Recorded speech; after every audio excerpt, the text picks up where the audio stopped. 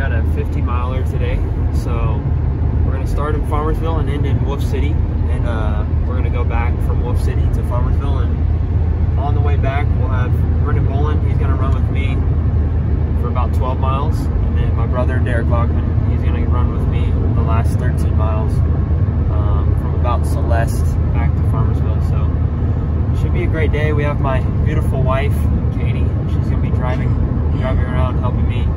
Uh, like my aid station, just giving me my uh, electrolytes and food and um, my kisses.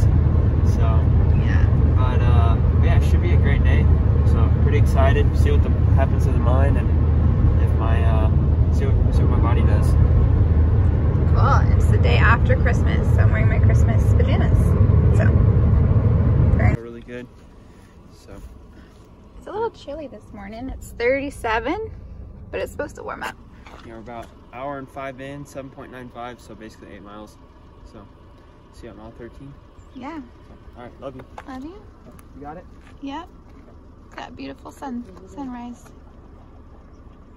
And he's off. Miles, Hour forty six and fifty seconds. Not too bad. How do you feel? Uh, I'm so hungry. So, let's snack some food. It's a little cold, so body's a little achy, but it's all part of the process, right? So, how do you feel? Out here in the middle of nowhere. 15 miles. So, I've got 10 more before I hit 25. So, feeling pretty good. The sun's coming out, so feeling that purpose, feeling that meaning. Brendan just got here, so that'll be fun. Run with him a little bit.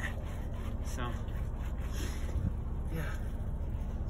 Should be good. Legs feeling good. That's all that matters, right?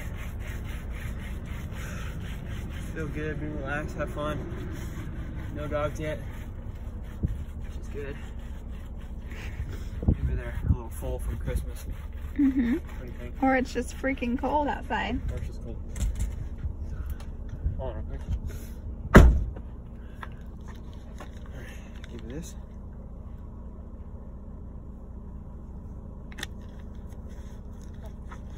Sweet.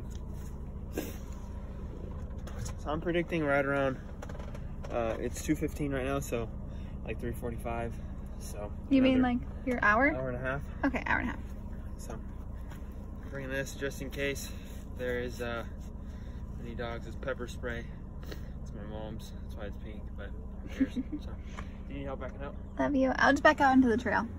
I can do that, right? All right, so we picked up a new addition. Spotter number one. Yeah. So right now we're at 26. Plans change a little bit. That's what life's all about. So, uh, so now Brendan's going 13 instead of 12 with me, um, and then Derek's gonna go 12 instead of 13. So still gonna be 50, but you know a little bit different. So it'll be a fun run. Got a little Indiana Jones adventure. So Brendan's gonna see. Yeah. So. So yeah, we'll see what happens. All right, and you're off. All right. See you at 13. Yeah. Let's see you You want me? You want me to?